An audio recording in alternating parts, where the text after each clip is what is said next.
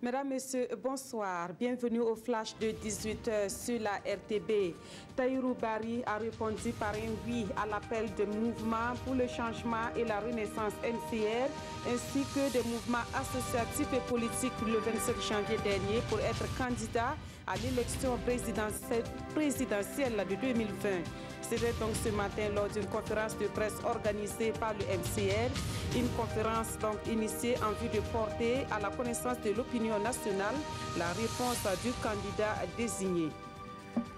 L'Alliance pour la démocratie et la Fédération Rassemblement démocratique africain sonne le rassemblement de ses troupes dans la région du Nord.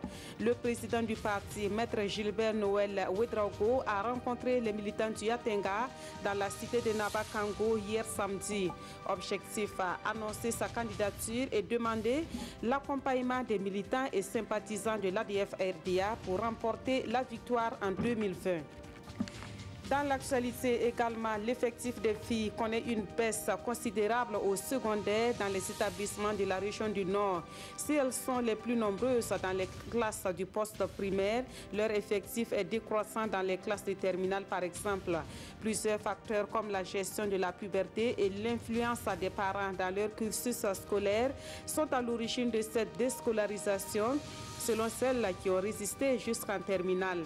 Les filles invitent donc les responsables de l'éducation à renforcer leur politique pour le maintien du genre féminin jusqu'à la fin de leurs études. On en parlera en détail dans le grand format de ce dimanche à 20h. 114 enfants internés au centre de l'action éducative de Somgande bénéficient ce dimanche à 14 avril d'une consultation médicale. Les spécialités concernées sont la dermatologie, l'ophtalmologie et les soins dentaires. L'organisation du groupe africain pour l'action en santé et en recherche et le ministère en charge de l'action sociale sont les initiateurs de cette visite médicale. Et puis à l'étranger, au Soudan, l'armée promet un gouvernement civil. C'est ce que réclament les manifestants dans la rue après la destitution de Omar El-Béchir. Des pourparlers se sont tenus hier samedi entre les partis politiques à l'origine de la contestation et les militaires qui détiennent toujours les clés de l'exécutif.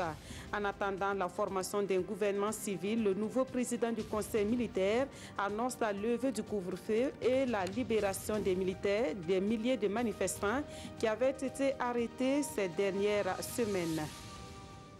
Fin de ce flash, merci de l'avoir suivi. On se donne rendez-vous à 20h.